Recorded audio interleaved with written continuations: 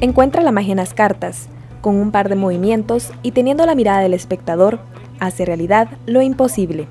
Luis Carías, actualmente uno de los magos de Guatemala que nos representa a nivel internacional. Yo me inicié en la magia básicamente a los 16 años. Ahí empezó mi, mi amor por la magia, mi interés por la magia. Me encantaba leer libros de, de ovnis, culturas extrañas, que fue lo más apegado a, a este tema que me traía apasionado de los seres extraterrestres y todo.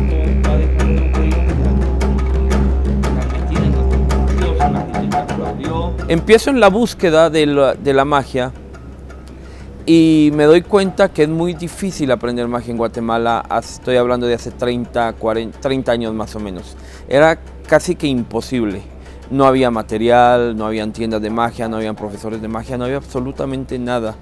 Y, y, pues empiezo una labor muy, muy titánica para, para aprender magia. Y aprieta lo más fuerte que Al ver la falta de recursos para aprender el arte de la magia, decidió experimentar, hasta que logró hacer trucos que impresionaban a su público.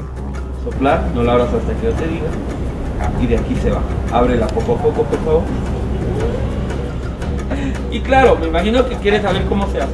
Un momento donde los dedos me sangran por estar practicando la magia. Cada sacrificio que hacía era para alcanzar su sueño, de ser un gran mago. Mi vida se va desarrollando siempre en ese, en ese momento, pasan cosas, eh, como todos pasamos crisis, pues yo también he pasado muchas crisis. En un momento eh, tuve, llegué a tener cinco trabajos por la crisis, la crisis no es nueva, nos ha, siempre nos ha atacado a todos. Trabajaba en el Banco de Guatemala, tuve que pedir un tur, cambio de turno, entraba a las 5 de la tarde, salía a las 12 de la noche. Eh, pusimos una librería en casa, yo la atendía y mi esposa la atendía también. Eh, iba a traer huevos a una avícola y vendíamos huevos. Hacía show de magia los fines de semana y eh, vendíamos granizados. La magia siempre lo acompañó en su diario vivir. La puso en práctica con sus múltiples trabajos que le ayudaron a proveer recursos para su familia. Pero no ha sido, no ha sido nada fácil y y al final del camino, en medio del camino de, de, esto que hago, a veces me he puesto a pensar si ha valido la pena. Y luego digo, sí, valió la pena.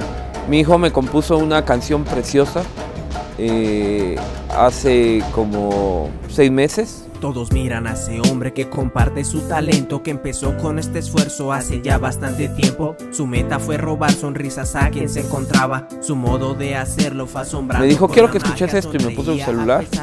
Y, y yo lloré. Y en ese momento dije, valió la pena, ya ha valido la pena, perdón.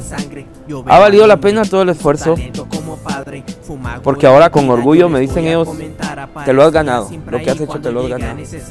Me mostró su mejor truco cuando yo llegué a pensar que estaba solo en esta vida y Este tiempo de experiencia le ha dado la oportunidad de establecer la sede de Intermagia aquí en Guatemala, nombrándolo presidente de la Federación Latinoamericana de Sociedades Mágicas.